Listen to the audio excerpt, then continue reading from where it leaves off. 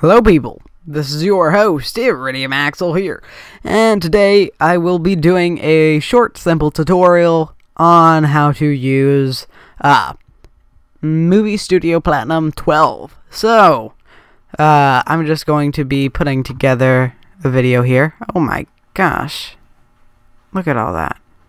Yeesh. Okay, so that is the 17 minute one. That is the 30 second one. Okay, so first of all, you want to drag in any intro or something that you have in. So just drag it into the main video here, and voice will be underneath or whatever stuff it is. Ah, uh, what I like to do is move stuff like that to below. So, ah, since they have a specific section for music. Okay, let's go to video then. And this is the one we are going to drag in right here. Uh, also, I'm going to lower my volume a little bit and press play. That plays just fine.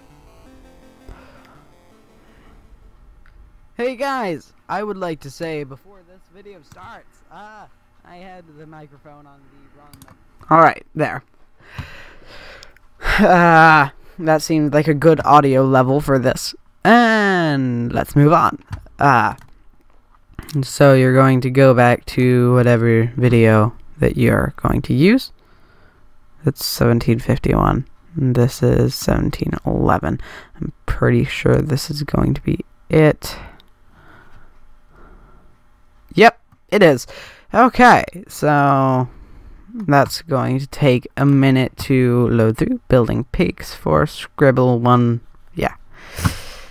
So, what are we going to do here then? Uh, here, you see transitions. I think they're really cool. So, what we're going to do is, uh, after this finishes, we're going to add an event here. And what I like as event is portals. I like this one, this one, but I think this one is my favorite. Ah, uh, it's now done. So what you're going to do is you're going to take it and drag it right into the middle here. And you're going to see that little plus mark. And you're going to add it in. And yeah, that's good.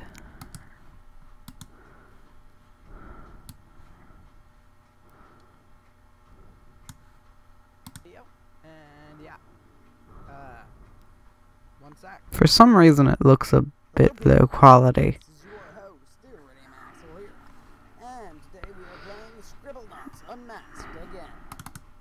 Hmm.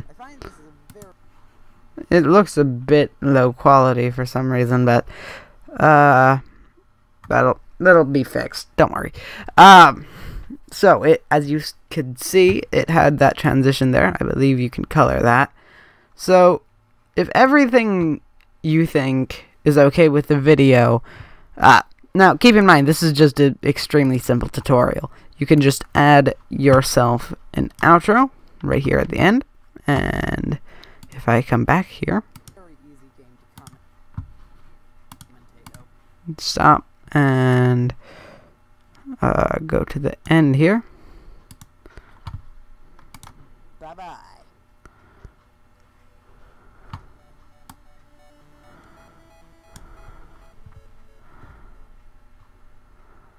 Alright, so let's hit bye bye. There we go. So that this has been a simple tutorial on how to use uh, this.